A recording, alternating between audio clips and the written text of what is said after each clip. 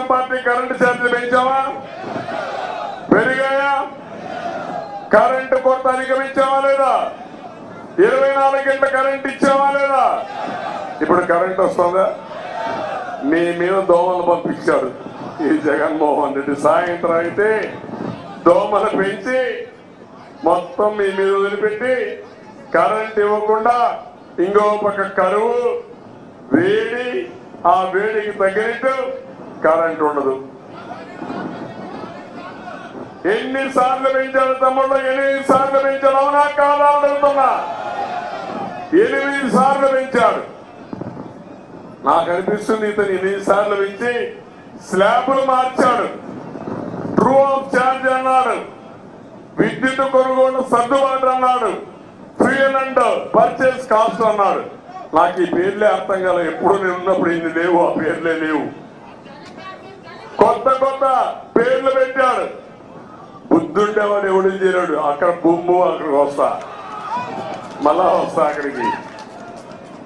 ఎక్కడ చూసినా పేర్లన్నీ పెట్టి ఇష్టానుసారంగా పోయి కడాన రెండు వందల రూపాయలు కరెంట్ ఆ రోజు మీకు బిల్లు వస్తే ఇప్పుడు ఎంత వస్తుంది తమ్ముళ్ళు? వెయ్యి రూపాయలు అవునా కాదా? వీళ్ళకి అర్హత ఉందా అని అడుగుతున్నా ఈరోజు. ఈ రోజు అని ఇస్తున్నా మొన్నే చెప్పా vision forty two zero four సెవెన్లో ఏదైతే సోలార్ గాని విండ్ గాని పంపుడ్ ఎనర్జీ గాని ఇలాంటి వినూత్నమైన పద్ధతిలో మళ్ళీ హామీ ఇస్తున్న కరెంటు ఛార్జీలు పెంచను పెంచకుండా మీకు కరెంట్ ఇస్తా. అది తెలుగుదేశం పార్టీ చేతగాని పార్టీ ఈ పార్టీ. అందుకే ఈ రోజు చూస్తే నాకు అనిపిస్తుంది నేను చెప్పాలి. ఈ రోజు కరెంటు కోతలు లేని చోట లేదు. కరెంటు బిల్లులపై ప్రభుత్వానికి తిట్టని నోరు లేదు. ఈ రెండు జరగని ఊరే లేదు. అర్థమైందా? సైకో జగన్? అర్థమైందా సైకో జగన్ అంటున్నా? మళ్ళీ ఒకసారి చూడండి. కరెంటు కోతలు లేని చోటు లేదు. కరెంటు బిల్లులపై ప్రభుత్వానికి తిట్టని నోరు లేదు. ఈ రెండు జరిగిన ఊరే లేదు. అర్థమైందా? సైకో జగన్.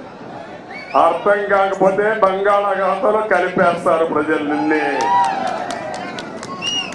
అవునా కాదా అని మిమ్మల్ని అడుగుతున్నా? ఇలాంటి తప్పుడు విధానాలు చేసి ముందుకు పోయే పరిస్థితికి వచ్చాడు. ఇంకో పక్క మద్యం. ఎంత కమ్మగా చెప్పాడే. ఇప్పుడు ఈ మీరు చూస్తామంటే ఎక్కడ చూసినా అరవై రూపాయలు క్వార్టర్ బిల్లు క్వార్టర్ మధ్య ఎంత ఇప్పుడు? రెండు వందలు మూడు వందలకు వచ్చేసి నవరా కాదా? మద్యపాన నిషేధం చేస్తానని చెప్పావా లేదా? మద్యపానం నిషేధం చేయకపోతే ఓటు అడగని చెప్పావా లేదా? ఇప్పుడు నువ్వు మద్యపానం నిషేధం చేస్తున్నావా? మద్యపానాన్ని తేకట్టు పెట్టి పదహైదు వేల కోట్ల రూపాయలు అప్పు తెచ్చావా లేదని అడుగుతున్నా. నీకు అర్హత ఉందా అని అడుగుతున్నా. ఏ తమ్ముళ్ళు నీకు రోషం ఉందా అని అడుగుతున్నా. నీకు అందరికీ ప్రజలు చెప్పాలి. ఆ రోజు చెప్పిన మాట మద్యపానం నిషేధం పెట్టకపోతే నేను మీ దగ్గర రాను. ఓటు అడగను అని చెప్పిన పెద్ద మనిషి నన్ను గురించి విమర్శిస్తారా మీరు? ఇప్పుడు సమాధానం చెప్పి ఈ ఏం చేయాలి? ఆ ఫ్యాన్ని మనం ఏం చేద్దాం? అందుకే తమ్ముళ్ళు నేను అందుకే మిమ్మల్ని అందరినీ కోరుతున్నా. ప్రతి ఒక్క ఇంట్లో కానీ ఏ మందు షాపు పోయినా జగన్ రెడ్డి తిట్లే తిట్లు. అవునా కదా? బూతులే బూతులు. పాప ఓం ప్రకాష్ ఇట్లనే కోపంతో మాట్లాడి ఆ పార్టీకే పనిచేశారని పుంగునూరులో మూడో రోజు మొత్తం ఇంట్లోనే ఉరేసి అతను చంపేశారు. ఇంతవరకు న్యాయం జరిగిన భూమి భూమి వచ్చింది. ఎక్కడా లేని ధరలు ఇక్కడే ఉన్నాయి వెరైటీలు ఉన్నాయి. తమ్ముళ్ళు ఇది తాగితే నేరుగా పైకి వెళ్ళిపోతారు. ఆ పరిస్థితిలో ఉన్న ఆరోగ్య సమస్యలు అన్ని వచ్చే పరిస్థితికి వచ్చింది. అందుకని ఇవే కాదు ఇంకో పక్క మీరు ఒకసారి చూడండి. మొత్తం ఈ రాష్ట్రంలో ఇంకా ఎన్ని సమస్యలు ఉండాలనో అన్ని సమస్యలు వచ్చే పరిస్థితికి వచ్చాం.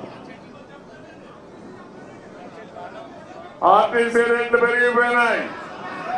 రోడ్లు పాడైపోయినాయి. బిల్డింగ్లు కట్టిన బిల్డింగ్లు కూలిపోతున్నాయి.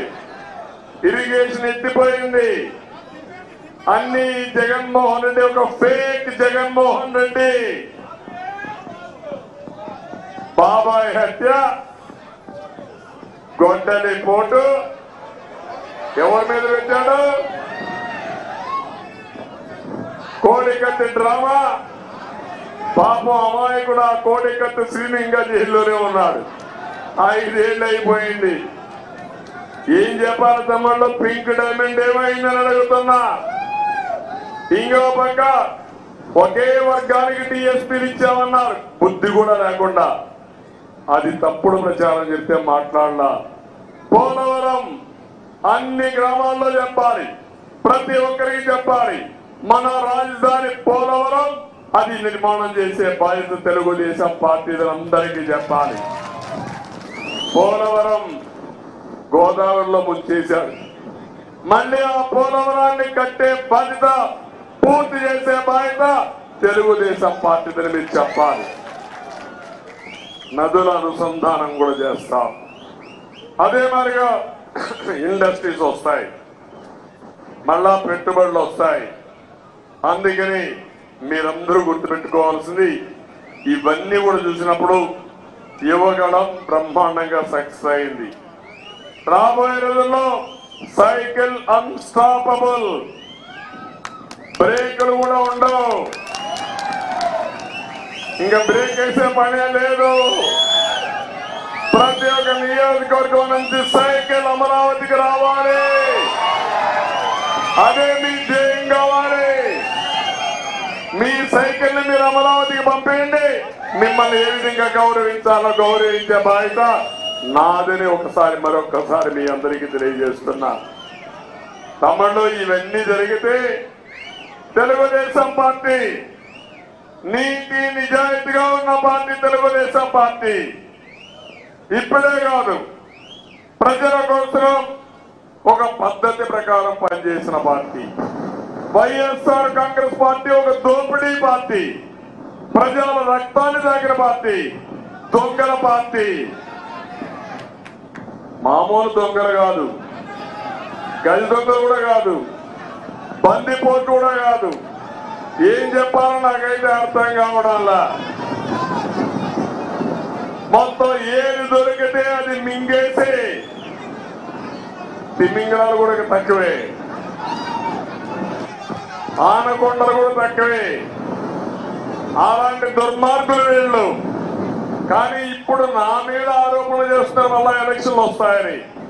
నేను ఒకటే చెప్తున్నా ఎన్నోసార్లు ఎంక్వైరీలు చేశారు ఏమీ బీకలేకపోయారు ఎప్పుడు కూడా తెలుగుదేశం పార్టీ నిప్పులాగా పనిచేస్తాం. ఇష్టానుసారంగా మాట్లాడితే ఆధారం లేని ఆరోపణలు చేస్తే ఎవరు దానికి చెప్పాలి సమాధానం కూడా చెప్పాల్సిన అవసరం లేదు. నేనే చెప్పాను టెక్నాలజీ తీసుకొచ్చాం. డిజిటల్ కరెన్సీ రిపోర్ట్ నేనే ఇచ్చా. ఐదు వందలు వెయ్యి రెండు వేల రూపాయలు కూడా రద్దు చేసేమని పదే పదే డిమాండ్ చేసిన వ్యక్తి నేనే డిమాండ్ చేసిన పార్టీ తెలుగుదేశం పార్టీ. ఈ అవినీతి పోవాలంటే ఈ అవినీతి పనుల యొక్క ఆట కట్టించాలంటే మొత్తం పెద్ద పెద్ద నోట్లన్నీ చేసి పేదవాడికి న్యాయం చేసే పరిస్థితి రావాలి. పేదరికం లేని సమాజాన్ని చూడాల్సిన అవసరం ఉంది. అప్పుడే ఈ ప్రజలకు న్యాయం జరుగుతుందని చెప్పి కూడా నేను మీకు తెలియజేస్తున్నా.